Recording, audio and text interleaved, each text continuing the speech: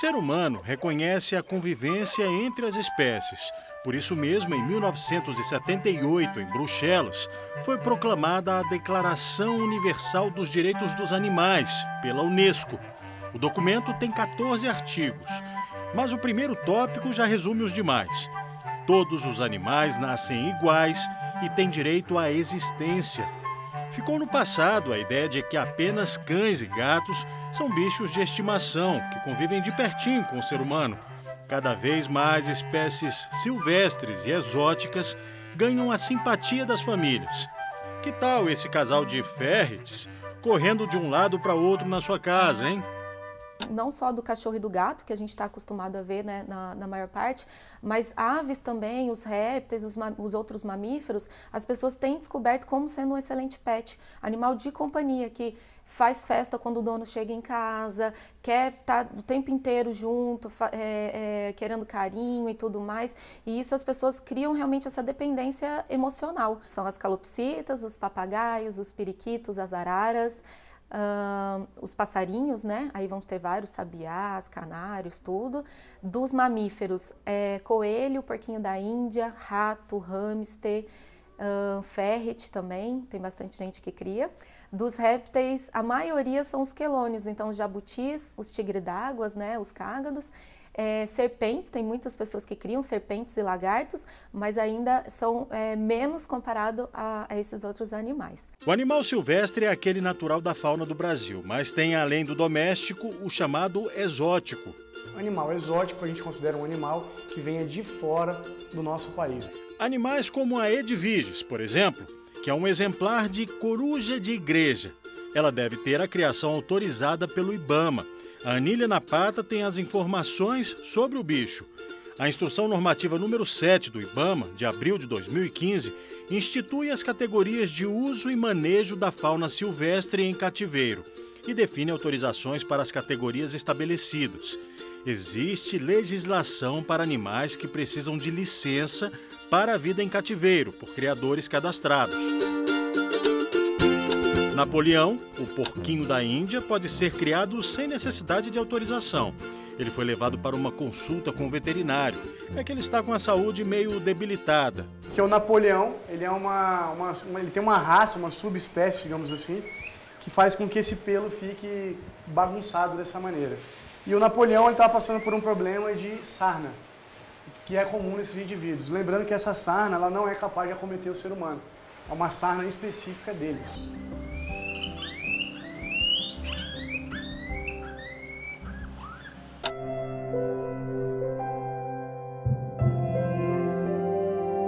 É, Napoleão, a injeção dói, mas é necessária. Vale lembrar que a ausência de cuidados com os animais é tida pela lei brasileira como maus tratos. O artigo 225 da Constituição Federal, inciso 7, prevê proteção contra a extinção de espécies e contra a crueldade. Já o Decreto-Lei 24.645 de 1934 descreve práticas tidas como maus tratos a crueldade é uma delas, a manutenção dos animais em lugares sujos, sem higiene, o abandono e o transporte de forma inadequada. São apenas algumas das práticas descritas. E se cada vez mais as pessoas escolhem animais silvestres e exóticos como bichos de estimação, cresce por demanda o número de médicos veterinários que se especializam em atender essas espécies é o caso da Juliana Pigossi Neves. O mercado pet de, de animal silvestre está muito forte. A gente tem inúmeros criadores, tanto conservacionista quanto comerciais, que, que seria o nosso foco, né? Que são animais que as pessoas compram para manter em casa e tudo. E hum, dessas espécies, é, todas que são silvestres, o IBAMA realmente exige uma legalização, uma documentação específica. Agora, aqueles exóticos, tem vários exóticos que, que são criados aqui no nosso país que não necessitam de autorização. Então, vai variar muito de espécie para espécie, mas todos os silvestres, eles necessitam de autorização. É só a pontinha que a gente tira, porque realmente, se cortar muito, machuca.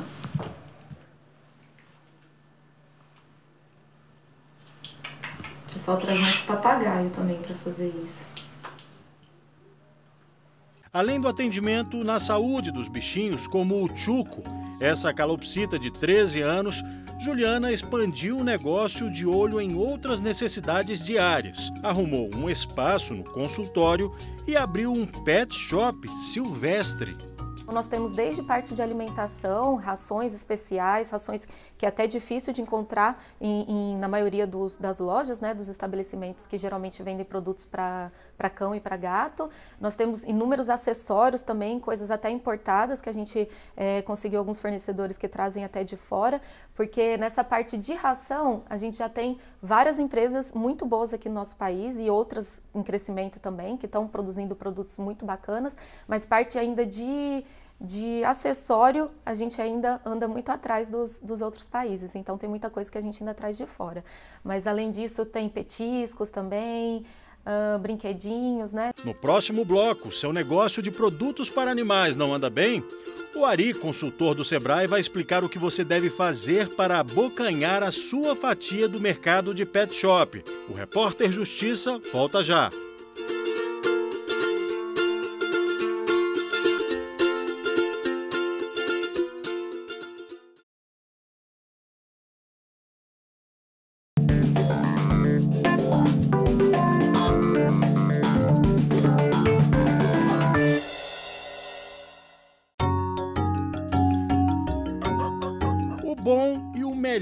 O seu bichinho de estimação. A tendência é essa. Entre avanços e tropeços, o mercado que oferece produtos e serviços para animais tende a crescer muito. Quem diz isso é um especialista no assunto. Nós tivemos em 2014 15,3 bilhões a nível de Brasil, em termos de faturamento Brasil, e, e com a perspectiva tá, de 20 bilhões tá? para 2020. E o valor agregado dos produtos pode ser bem alto, como nesta loja de animais que a gente visitou em uma área nobre de Brasília. Tem roupas e até joias para os bichinhos. E muitas vezes não é um público exatamente de alta renda. Não, não necessariamente é um público que vai ser rico. Quando a gente lida com o mercado de luxo, a gente lida muito com sonhos, né? A pessoa, ela quer realizar um sonho, ela quer sentir mais do que ser rica, ela quer se sentir rica. Algumas é, atividades, principalmente do segmento de vestuário e acessórios, estão se especializando, pequenas fábricas, microempresários, estão se especializando em fabricar roupas para cachorros, roupas para gatos, né? É, acessórios tá? para, para pet, para cachorros, para gatos. E, e, a, e a nossas as nossas pequenas indústrias aqui de cosméticos também se especializando em produtos como shampoo, tá?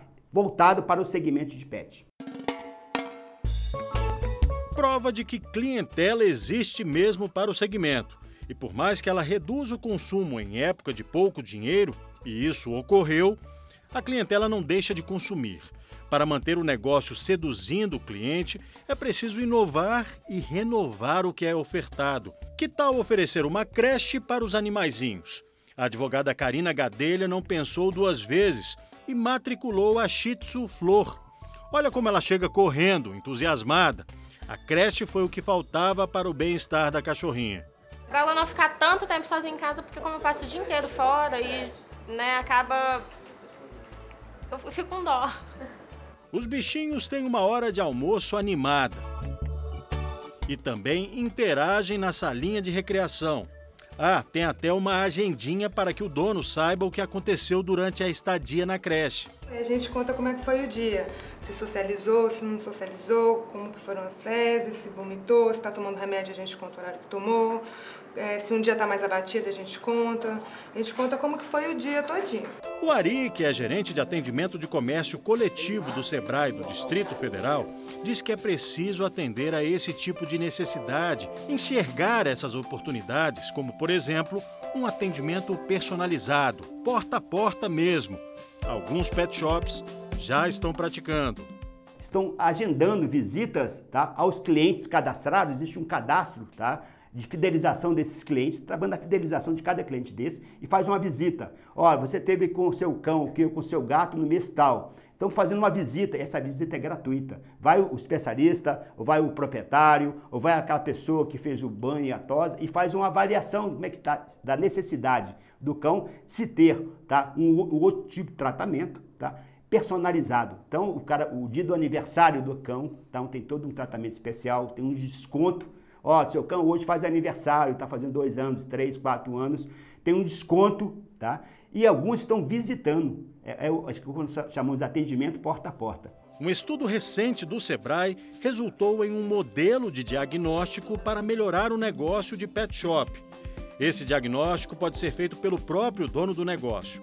É só responder algumas perguntas que estão no questionário e, a partir da pontuação, verificar o que precisa ser melhorado. Nós desenvolvemos, construímos é, um diagnóstico, está um diagnóstico online que está na, na página do Sebrae, www.df.sebrae.com.br, que é o nosso site, nosso portal ele pode fazer e entrar e, e, e encaminhar esse, diagnóstico, ler as características, como é que está a sua, sua, loja, como é que está seu estoque, como é que está avaliar seu atendimento, quais são as estratégias de mercado que ele definiu tá, para 2016. Isso tudo vai dar um direcionamento para ele, quais são as mudanças que ele tem que fazer no negócio. A gente percebe que nos últimos anos a gente percebia as lojas muito cheias, tá? muito, não tinha como você caminhar na loja. Você esbarrava com a ração, esbarrava com o produto de, de, entulhado. de entulhado. E agora, tá, as pessoas estão revendo isso aí. Como diminuiu em torno de 60%, 50% o volume de compras nesse segmento, um ajuste de, de, de renda familiar, né? os pets estão começando a, a, a olhar e falar assim, opa, eu tenho, que, eu tenho que ter produtos aqui, tá? diversificados, que atende a minha necessidade do meu cliente. E chame a atenção dele. Tá? Então eu não posso ter uma coisa entulhada.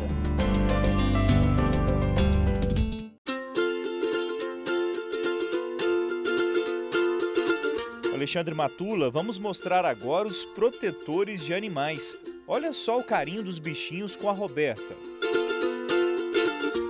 A empresária sempre se dedicou a proteger os cães e gatos menos favorecidos. Eu via, eu ficava com peninha dele na rua. Aí chegava em, geralmente eu já chegava em casa com o bichinho. Pai, olha o que, eu achei na rua. Aí, como a família inteira sempre gostou também, eles sempre me apoiaram. Mas defender animais não é uma tarefa muito fácil. Poucas pessoas têm coragem de denunciar. Por isso, Roberta usa as redes sociais para combater esse tipo de violência. Na página revela casos de abandono e animais salvos. Foi o que aconteceu com o Luke aqui no Distrito Federal. Internautas publicaram um vídeo em que o cachorro aparece sendo agredido pelo dono. As imagens chocaram e tiveram uma grande repercussão na internet. Ele foi resgatado. Ele estava no núcleo bandeirante sendo espancado, passou na televisão e tudo mais. A gente resgatou. Ele estava com sinomose, um dos sinais de que nem vacina ele não tinha. Luke foi tratado e depois ganhou um novo dono. E mesmo com tanto amor pelos bichos, a Roberta reconhece que é muita responsabilidade tirar um animal de uma situação de risco quando você resgata um cachorro, você pega a responsabilidade para si. Independente se vão te ajudar ou não, agora a responsabilidade é sua. A Lei Ambiental 9605 de 98 define que ao adquirir um bicho, o dono é obrigado a tratá-lo como um integrante da família. De acordo com a lei, não oferecer alimentação, tratamento médico e dignidade ao animal é crime. A lei de crimes ambientais ela traz contra maus tratos a sanção de detenção de três meses a um ano e multa, né? O que, na minha opinião, é muito pouco, porque, na verdade, como a gente sabe, uma pena tão pequena dificilmente será cumprida, né? No máximo, vai haver uma substituição por uma pena restritiva de direito, fornecimento de cesta básica, algo desse tipo. Não basta comprar um animal, é preciso ter responsabilidade.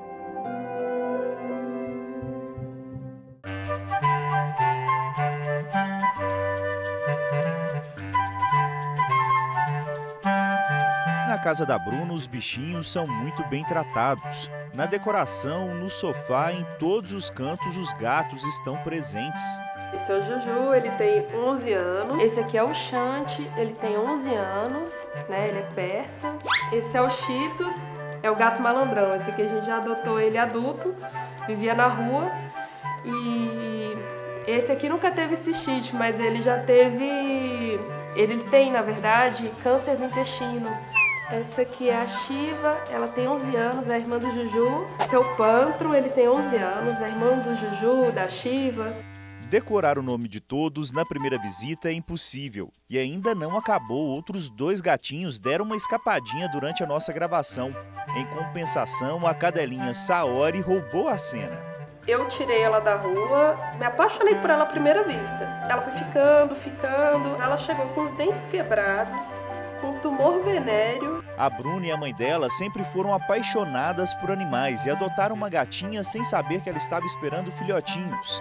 E foi aí que a população felina na casa delas se multiplicou. Agora a família eh, estacionou, né? Porque a gente, o foco é dar qualidade de vida para os que a gente já tem. E para dar qualidade de vida aos bichinhos tem um preço e não é barato.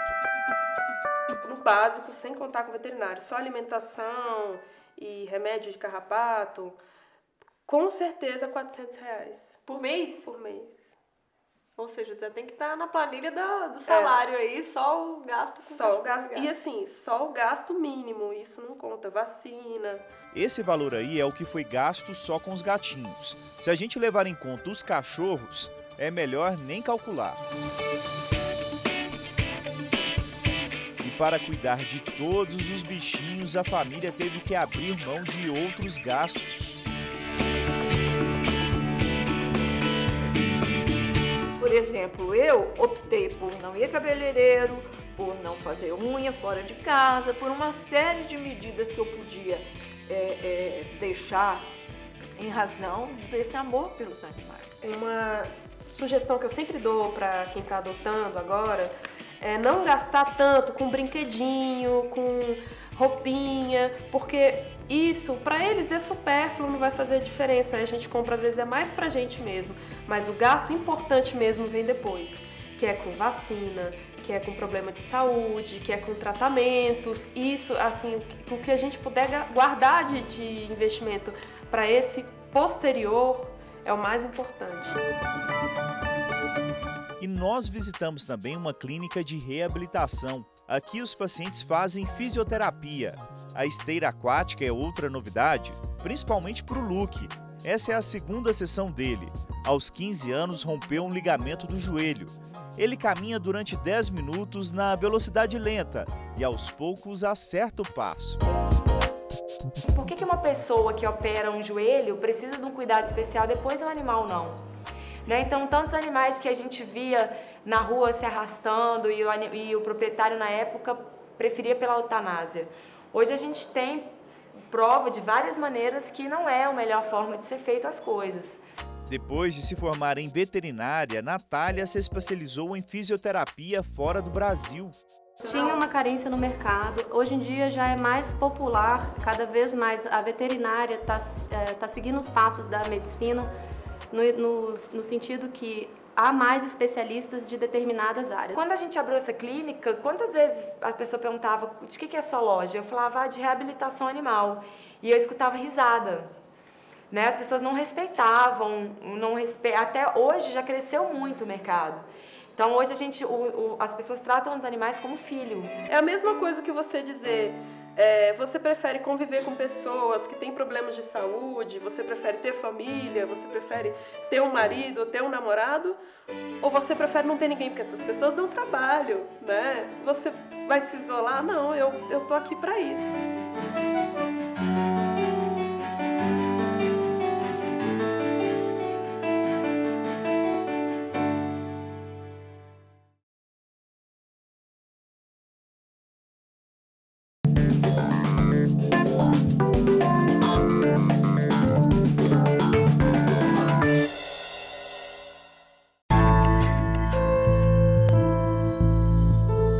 Infelizmente, uma hora chega o momento da despedida. Para que a partida seja digna e ambientalmente correta, existem crematórios especializados em animais. Para os bichinhos menores, o processo demora em torno de uma hora e meia. O forno vai a 1.300 graus, até os gases que são produzidos são queimados. No fim, só restam as cinzas que são depositadas numa urna. Rafael conta que a família dele decidiu abrir o negócio depois de não encontrar uma forma digna de se despedir de um animal de estimação. A ideia surgiu através de uma necessidade familiar, né? A minha avó ela tinha uma cadelinha, uma cachorrinha, conviveu 17 anos conosco. E quando ela faleceu, a gente não tinha né, o que fazer com o corpinho dela. Na época, o cemitério aqui em Brasília tinha sido desativado, né, onde se localiza hoje o Hospital da Criança. Então a gente não tinha nenhuma opção. Né? Foi nos cobrado uma taxa para cremação. Né? O veterinário nos cobrou uma taxa para cremação, só que na verdade ela foi incinerada. Né? A incineração era totalmente diferente da cremação. Né? Na incineração animal, ele é incinerado junto com o lixo hospitalar, porque as clínicas veterinárias, odontológicas, médicas, elas são obrigadas a incinerar o próprio lixo hospitalar. Então, o animalzinho entra como lixo hospitalar. Né? Essa situação nos deixou muito né, comovidos, muito insatisfeitos, né? porque 17 anos a gente não pode tratar é, aquele, aquele bichinho que conviveu com a gente esse tempo todo de qualquer forma, como lixo. A gente tem que dar um destino digno para ele. Nem sempre os donos conseguem acompanhar a cremação e aí nesse caso tudo é filmado. E o custo? A partir de 500 reais, já com os deslocamentos do corpo do animal, cremação e a urna com as cinzas. Tem aumentado, sim. Hoje nós estamos com a média de quatro cremações por dia. É, os nossos clientes, a primeira vez que eles optam a fazer, voltam a fazer a cremação, não optam pelo sepultamento, né, justamente porque na cremação você tem a opção de ficar com aquele bichinho dentro da sua casa, né, materialmente falando, você tem a opção de ficar com ele o resto da, o tempo que você achar necessário, porque as cinzas elas são totalmente limpas. Né? Então, por isso que a procura vem aumentando, né? além de ser ambientalmente viável. Né? E o amor pelos animais de estimação surpreende a todos. Foi um caso de uma cliente né, que ela não, poder, não podia ter filhos, né, o casal não podia ter filhos. Então, o, o cachorrinho ele era tratado como um filho mesmo, né? E quando ela perdeu, realmente foi um choque para ela, né? Porque ela estava perdendo um filho, não era um animal, ela estava perdendo um membro da família. Né? Então a gente se comoveu bastante com isso.